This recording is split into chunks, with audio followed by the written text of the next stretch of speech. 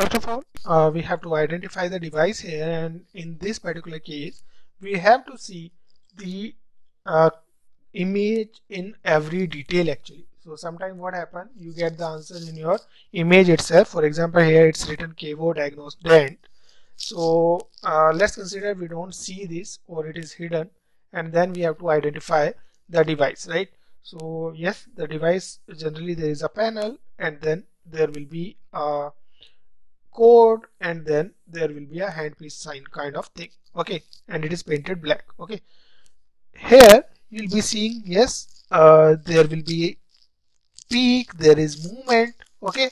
These are the things which we can see here. Now uh, I'll just try to uh, give an overview of the diagnodent before I get into the depth of this question. So the diagnodent basically is a variant of quantitative laser or light induced fluorescence system. So that is an advancement of the quantitative laser or light induced fluorescence system. That is one thing which we have to understand. Now what will be the light source? Yes, that can be laser or any light source and that can the diode laser is going to emit the red light and it should fall in that wavelength actually and the wavelength is going to be 655 nanometer. That is important.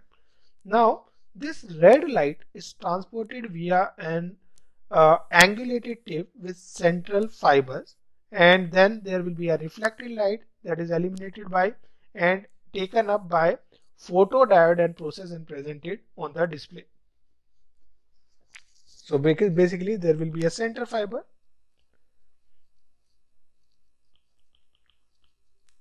And that will be passing coming out of the diode and that will be transported via an angulated tip. Inside this tip there will be a central fiber kind of thing right and that will be traveling. And then the light will be reflected and then it will be taken up by the photodiode and it is going to process and then you will be having the signal that will be seen on the display. Now the signal on the display can be between 0 to 99 and what these signals generally mean if it is between 5 to 25 so you can say that there is initial lesion in enamel if you see the reading between 25 to 35, then there is going to be initial dental caries or we can say dentinal caries better, right? Basically 5 to 25 is going to be related to enamel, then there will be initial dentinal caries and if it is more than 35 then you are going to have the advanced dentinal region lesions okay? So this is how you can diagnose with the diagnodent so here you'll see the angulated tip is there and there will be a central fiber that is running to it. And there is diode inside it that will be emitting a light of around 655 nanometer. And then you'll be getting some display here. And this particular display is going to tell you the reading. So if it is between 5 to 25 it can be 25 to 35 it can be about 35 and you can find out the inference from here.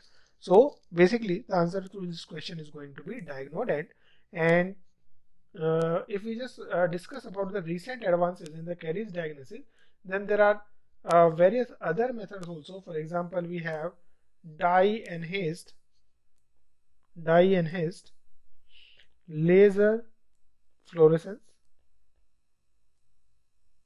Now this particular instrument has higher sensitivity than the laser auto fluorescence alone and dye use which we uh, use here are going to be pyro methane 556 and then sodium fluorescein. These are the dye which we use in the dye enhanced laser fluorescence. Then another way uh, for diagnosing is going to be your endoscope in case of endoscope when you are trying to find out the carious lesion, a blue light, blue light is generally between 400 to 500 nanometer, right? And it is used to excite fluorescence within the tooth. And if uh, uh, if you just uh, see this particular endoscope, you will be putting the blue light there. So you will be having an advantage of having it 5 to 10 fold magnification and that's why you can easily find out the carious lesion in the case of endoscope as well. Then there are other methods, for example, the dye penetration method. In the dye penetration method, there are methods which are used for enamel and there are methods which are used for dentin. So uh, for enamel caries, if you just uh, try to understand, so the dye which we use is going to be your Procion and the calcein. And then we have fluorescent dye that is going to be brilliant blue.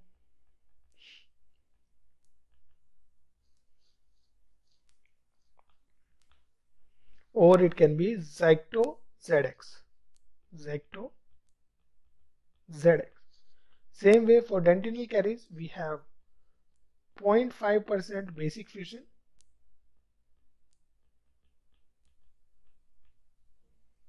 in propylene glycol and we can also have 1% acid red in propylene glycol.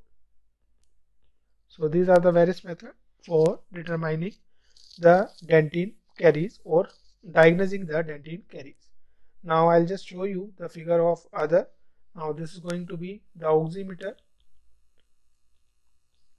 and that helps in finding out the vitality of the pulp of the tooth. Yes, that is a, that is still uh, under experimentation, but yes, that is a technique which is very promising because uh, vitality is basically has to reflect the vitality of the pulp, the blood vessels, and this particular oximeter uh, measures the vitality of the blood vessels.